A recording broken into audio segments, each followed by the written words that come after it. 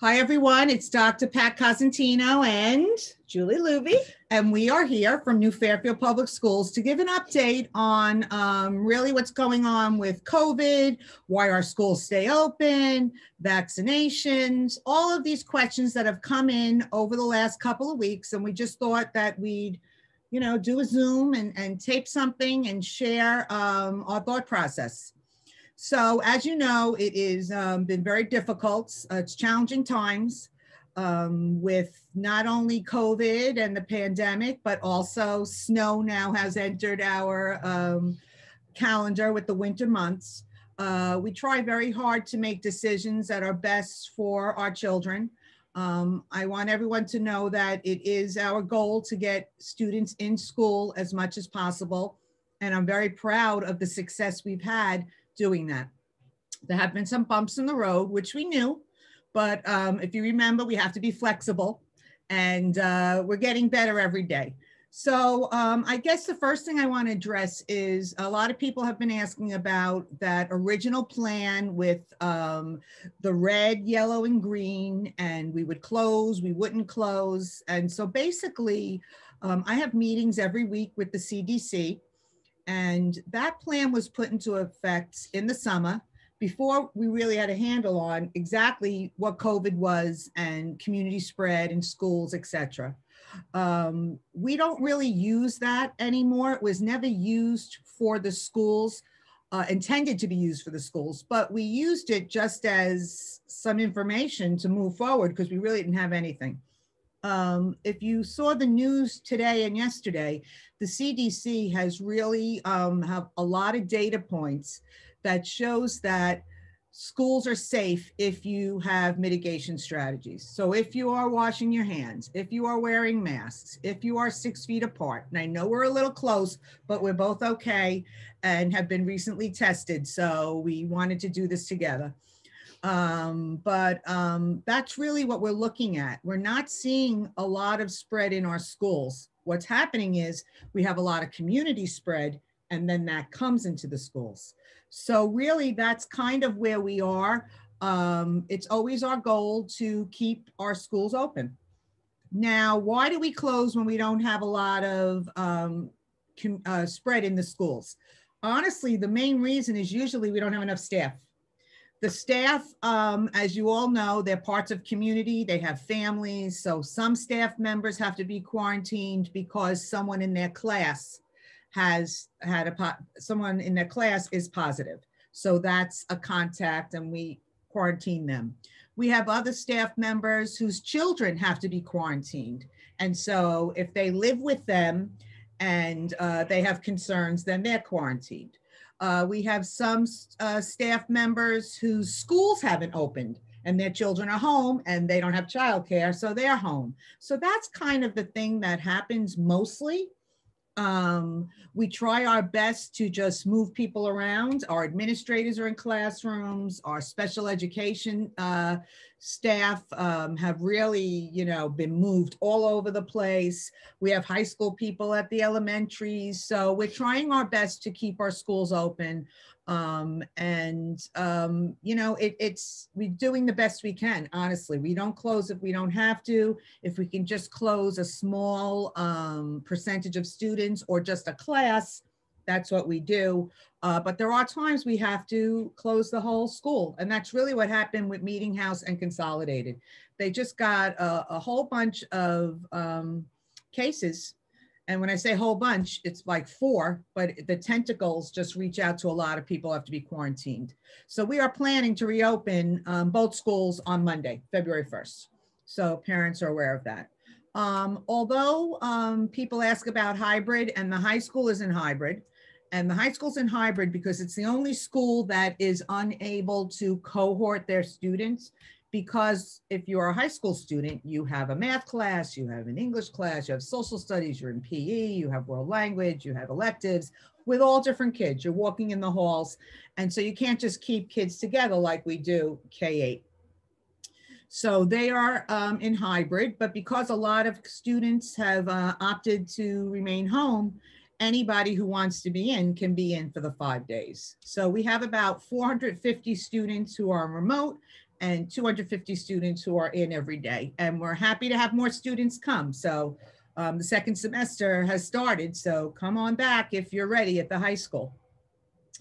Um, hybrid doesn't work really well in the other schools because um, when half the class is home and half the class is in, uh, if the teacher is in, it's very difficult to have um, um, that set up.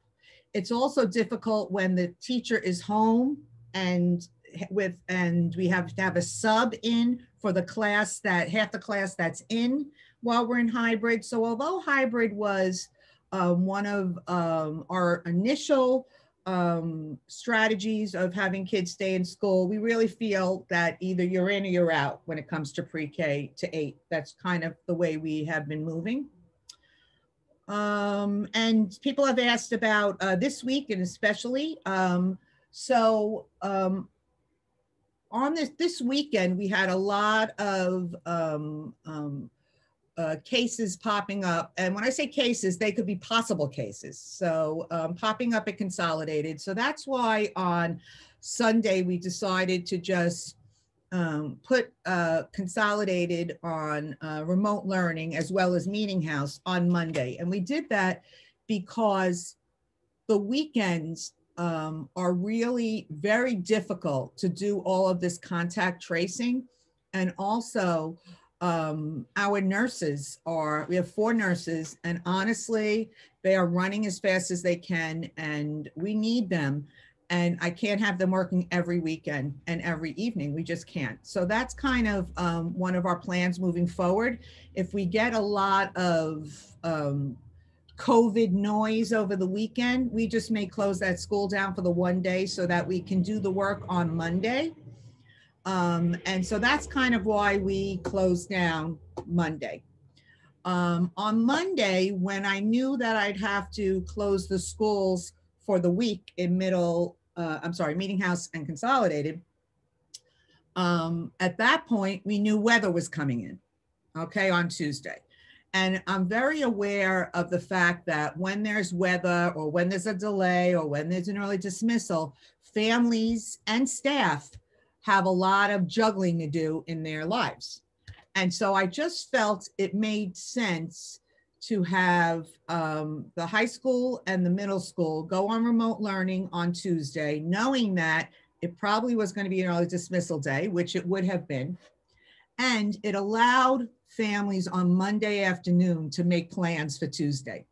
Um, because it's hard for some families. They, they have two people who are parents who are working, they need childcare, a lot of time. The older child is the child's care. Um, so that's kind of what happened on Tuesday. And then um, today, which is Wednesday, which is an early dismissal day for everyone, um, it's really inappropriate to have a two hour delay and then dismiss early. Kids aren't even in school for two hours. And that's really very disruptive for families. And it's also disruptive for education. Do you know what I'm saying? The kids, they, they get on, they're on for an hour and a half, then, then it's asynchronous, and it's just a lot. So it just made sense for everybody today to have a remote learning day. Um, tomorrow, middle school and high school will be back full time in session. Um, Meeting House and Consolidated will be back on um, Monday. And for those of you who are not aware, I think you are, but we do have the Ed Advanced Basis program that runs at Meeting House. Um, it is a program that has a, a, cost, but it is available for families who need childcare. So um, we are trying to help as much as we can. Okay, so that's kind of that piece. Uh, I'm going to move on to another topic and uh, talk about the quarantine rules. Um, as you have probably heard from the nurses, um, staff and family members exposed to individuals do not have to stay home unless the individual that they're exposed to has developed symptoms or test positive. Okay, so if you have someone in your house who has symptoms or has tested positive, you now have to quarantine. If you have someone who you think might be ill or whatever, and, and uh, you're just keeping them home, you don't have to quarantine unless there are symptoms or they test positives. Positives. Um, families should know that the symptom onset after an exposure should result in all family members in the district staying home until, until negative results are um, received. And we tell you this because we have had cases where there's someone home sick or positive and the families have sent other kids to school. And that's really difficult because then we have to quarantine everybody. So please, this has to be a joint effort between families and the schools um, to make sure that you're following the quarantine rules. Um, you know, tests are not required, but for our school system, they're strongly recommended. So that this way we know uh, who we have to quarantine for how long, and maybe we don't have to quarantine. So that's really important for us. Our nurses have been outstanding um, in sharing this information. And uh, if you have questions, please send them an email or give them a call. And also we ask you to be patient and, and, and kind. Sometimes um, um, we get a little um, frustrated and we take it out on the messenger. Um, I can promise you that we are following CDC rules and, um, you know, we're doing the best we can. So what about the new variants? There's not a lot of information out about the new variants at this time. What I can tell you is we are following our mitigation strategies. We have been told at this point that, you know, at this point, the mitigation strategies are working, washing our hands, wearing our masks, keeping six feet apart, um, and um, you know really um, our schools are cleaned all the time. There's lysol everywhere. There's hand sanitizer everywhere. And everybody has done a great job keeping um, staff and students safe. Um, as far as the travel restrictions um, the travel restrictions are at this point if you travel to new york rhode island or New Jersey, I believe, Yes. um, there are no travel restrictions. If you travel anywhere else, if you go to Massachusetts, if you go to Maine, if you go to Pennsylvania, uh, you do have to quarantine. Um, so we ask that you follow them. They're on our website. Call the nurse if you have any questions. I know a question has come up. Oh, I know that they went to Massachusetts. Why aren't they quarantined? Well, if you have COVID, I guess the positive part of COVID is if you have COVID and uh, you're lucky enough to survive and be healthy, um, you have like a 90 day window where you cannot transmit it or get it. So those people kind of like have a get out of COVID Jail-free. free card. Yeah, exactly. Oh, boy. um, vaccinations. Okay, a lot of topics today. So vaccinations at this point are being handled by the town of New Fairfield. Um, they are um, entering staff into the VAM system, the vaccine medical system. I, Good enough. yeah, I can never remember that A, but we'll figure it out. Um, and so anyway, administration, vaccine administration medical system. There we go. Sorry. And so basically at this point in the state, over 75 is being vaccinated. Um, the next group is going to be 65 to 74. Um, we're hoping and we're assuming that teachers are going and staff members are going to be after that. Um, you have to really um, be vaccinated if you're a member of New Fairfield um, town and community through the town. So if you haven't had a chance to go on the website and get the information, it's all there because I have been there. Uh, as far as our staffing goes, um, we at this point have submitted names of um, staff members who have had contact, who have contact every day with some of our most challenging students and who have to wear additional PP, uh, PPE. So those uh, names have been given to the town. And so if they are vaccinating and they have five extra vaccinations or someone doesn't show, they're going to call those people and get them in. So at least we're getting moving with that. Um, I think with our new president, we're going to see some more um, action and more vaccines um, on the way. Uh, that seems to be the problem nationally and in our state. Um, we have a lot of people want to be vaccinated. There are just not vaccinations, vaccines available. So, you know, we're hoping that um, that changes and we'll continue to, you know, use our mitigation strategies until it does. So I think that's what I wanted to talk about. And now you can go, Julie. Super. So one of the questions that came up was, when do we send letters? When do we not send letters to the community about cases of COVID? And um, the dividing line for that is really, was the case in our school? So if somebody were to have um, developed COVID, say over a vacation week, later in the week, when it was clear that they were not ill and could not have been contagious in our schools, then there's no need to send a letter because no one could have been exposed. But anytime there is someone who was in our schools during the time during which they could have been contagious, we send a letter out to the full district letting you know that. Um, we are sending those letters if cases come in over the weekend. So far, we've been sending them 24 7, seven days a week, but we are looking to send those on Monday mornings if a case pops up over the weekend, just again so that there can be a little bit of a break in the action. Um, we've been asked about the COVID data. We have a table called the COVID dashboard that is on our website under our, um, uh, on the homepage of the district website in a tab labeled uh, COVID dashboard. And that's where you can see it's updated on Fridays with the cases from the week before. So it'll give you some sense of how many people are quarantining, how many people actually have COVID.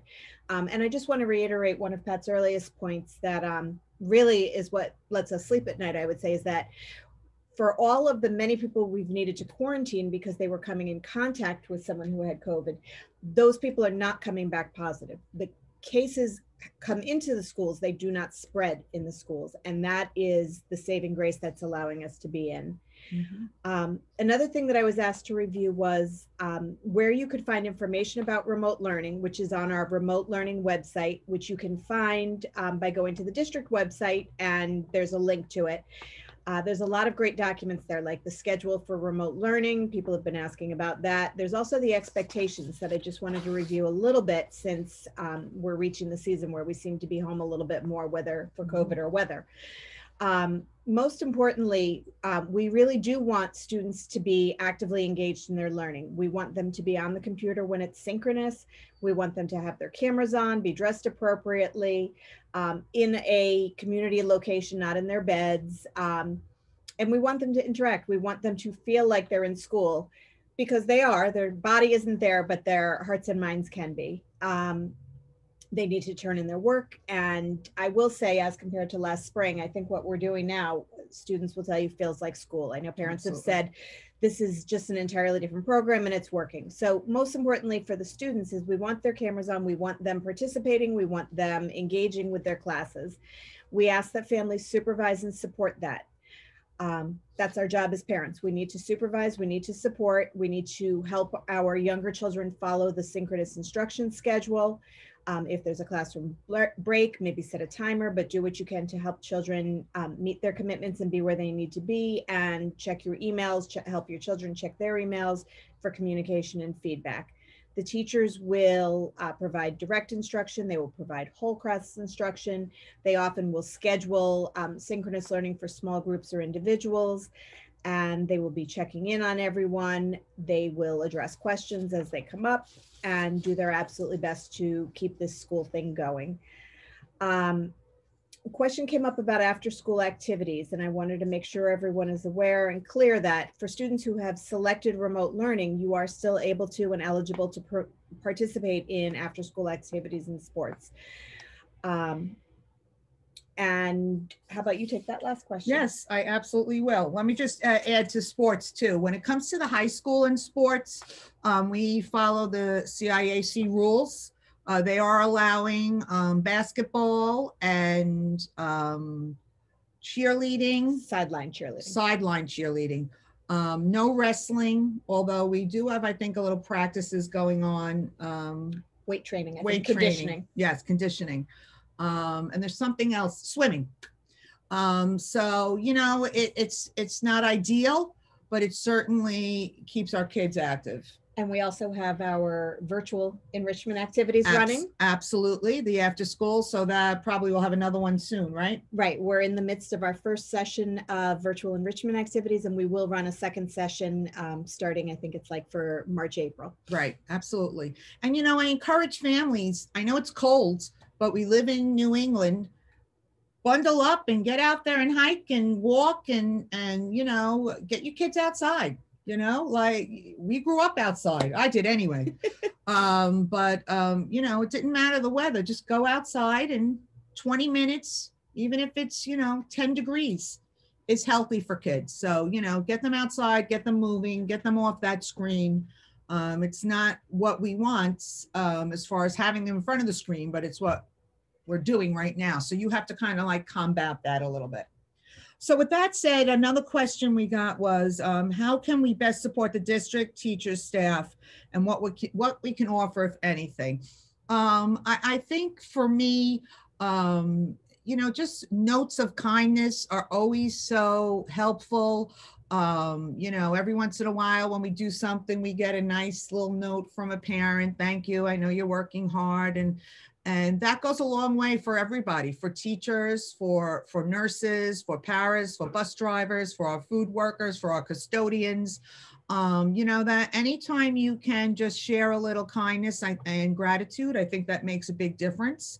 I know it consolidated. The pto ran a, a, a big uh, drive to have people for recess um, buy things on uh, amazon and send them to the teachers which was lovely um, certainly, um, you don't need to do that, but you know, anything, you know, just a little candy bar thinking about you, you know, any little kindness is really appreciated.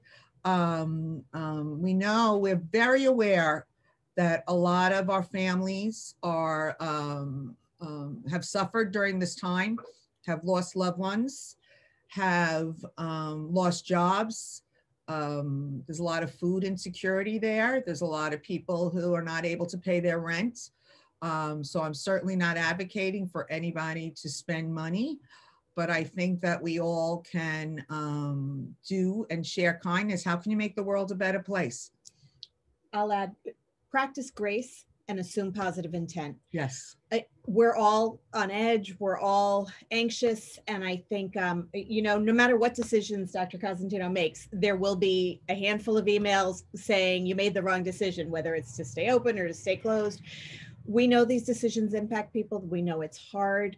And I guess I would just say assume positive intent. Remember that we are all trying to do the absolutely best we can for children, staff, families and we want to work together as a community. We want your support, support the teachers, let them know what a great job they're doing. We just are so proud of our staff. Mm-hmm. And if anybody wants to contribute to the good work, I would say say the thank yous. Let people know that they're appreciated. It's hard times and a little thank you goes a long way. Absolutely. Absolutely.